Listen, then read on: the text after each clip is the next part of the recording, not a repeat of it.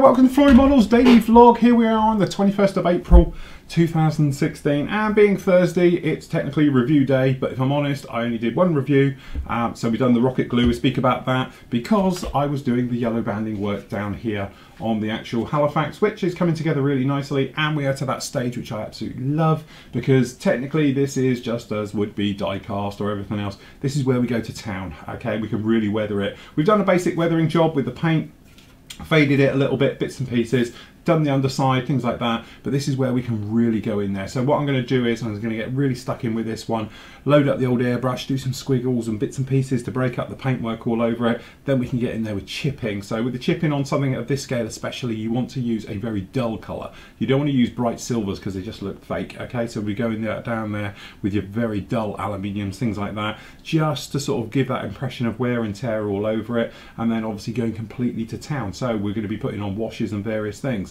But first of all, we need to do the decals as well. So what we're going to do, gloss coat on this in a moment, decal it, and then obviously tomorrow we can come in and we can then start on the weathering and the bits and pieces like that. But generally into that place where we are a lot of fun. Just doing that banding, the identification yellow on it is a complete nightmare because it just takes forever a couple of little touch-ups we need to do to fix it on it as well but we do that during the weathering process but just having to mask it all and go round but I tend to prefer doing it now than before because I've so many times I've peeled back the mask in and it's gone wrong or it's out of position. It's easier to do it this way. So anyway, that's what I was doing this morning. This afternoon, I was popping on with this stuff. Now I've had it kicking around a while, to be honest, a couple of weeks. It was mentioned in the forum, so I went out and got a bottle and put it on test. And today I've done a sort of versus with your normal sort of crystal clears and glues and everything else like that. So what we've actually got is We've used it in a couple of places, but this is rocket glue. Okay, so this is the stuff we're actually talking about. It's a PVA glue, uh, water-based and all the rest of it, so it's not a nasty one, but if you can see in here,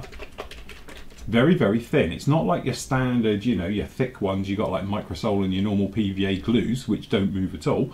Okay, this is actually a nice liquid one. So actually what we did, we've done windows with it. So hopefully you can see it in the light down here.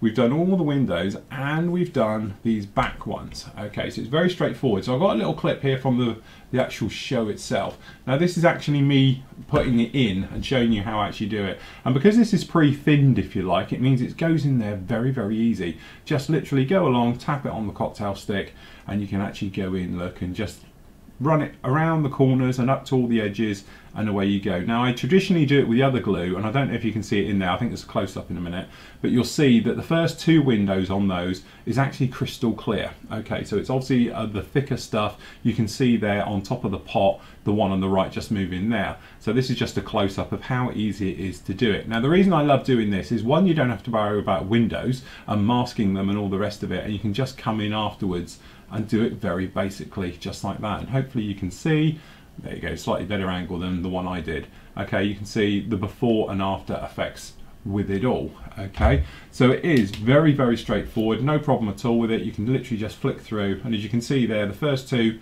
being the thicker white glue, and then obviously the thinner at the back. Okay, and that worked really, really well, to be honest. Go and see the video, and you'll see me doing all about Windows, and I talk about how I do it and all the rest of it. The other thing you see, which I haven't shown, um, is this guy. Okay, so this is the Halifax, and I did say I'll go back to it, but we did these windows with it as well. And to be honest, these have come out really, really well. The only thing is, and I don't know how well the camera, and if I can get it to drop down without blurring too much, because I don't want to lose it. Come on, blocking camera, because obviously it's a little bit high. I don't know if you can see, but generally there looks to be, um, sorry, don't know if you can see, but you know when you look into a vase and where they've glass blowers cut the glass off the bottom, each of them look like a little pinprick right at the very, very bottom. Okay, which isn't a problem se uh, because of this scale. So it's very, very small scale. And to be honest, you can't really see it on these windows. They are that small. But it is the difference because crystal clear doesn't do it. Okay, so this is the thing with this glue. As I said, go and see the review and you'll see the full thing about it. But it's brilliant at everything else. It's great for using photo etch. We talk about photo etch, you'll see it in the review as well. Strong as nails, and this stuff, once it is on, it really is on. It's almost, you know, it will ping off, it's like super glue. Eventually it cracks and gives way, but until then, it has got a hell of a lot of bite to it. More bite than crystal clear, your standard PVAs or your gator glues, things like that. To be, might be honest, I think it's got the best bite of them all. But for glass work, not perfect. Now, hopefully, if you were using it like I would technically use it for zipping around the edges of canopies, things like that, when they'd be put it on, the great thing about I'm thinking with this one is because it's thin, I would actually get it locked in place, tape it into place, or rubber band the actual canopy into place, or a clamp. Then I would actually get this glue and I would tap it and let the capillary action work all the way around the edge of it. My only thing is, is it going to shrink back too much? Because that's what I tend to do with your normal um, micro sole sorry, uh, micro crystal clear. Um, I tend to go around with it like that and it acts like a filler as well and pack it out if you've got any gaps. I'm not sure this would because it's thinner, it's coming in, but in all the other tests we did with it, and to be honest, I stuck just uh, normal styrene together, some styrene sheet, I've stuck obviously cardboard, paper, various other things. It works on absolute treat. The other thing as well, if you can see it down here, um, this is the cuts as you saw them down on there. And as you can see this one is crystal clear. And to be honest I peeled it off. It was down here. There we go. That's the little drip that was on top. So you could make up headlights with it if you wanted to. But as you can see it is clear and it's all dry. This is still drying and wet so the great thing about that stuff as well is that it does dry extremely quickly. It's not not like you know some of them that are out there which take forever. You know I think the actual um, crystal clear isn't too bad. That dries quite quickly compared with some of them, but compared to that stuff, it's brilliant. But again, it's very thin. It dries, it's clear, it's everything you could want with a glue. I'm just a little bit worried about that puckering up, the fishbowl effect, or whatever you're going to call it, uh, vase effect.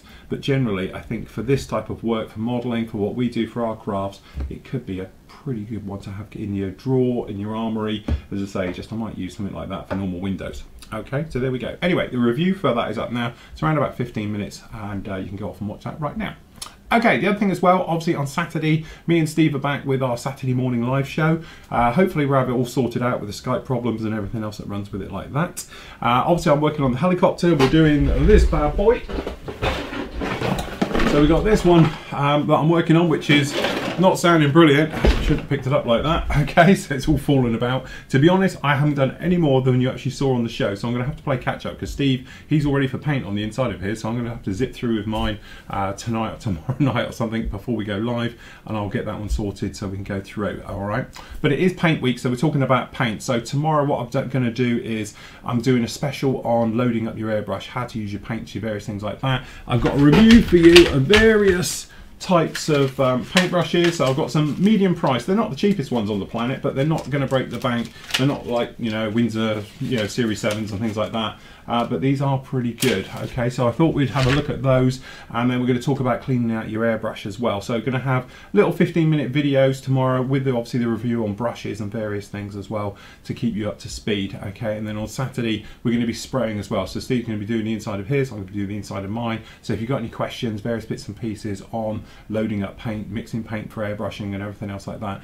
then give us a shout we'll try and answer as many of your questions as we can during the show. So that's about it for me today. Thank you for joining me, and we'll catch you all tomorrow.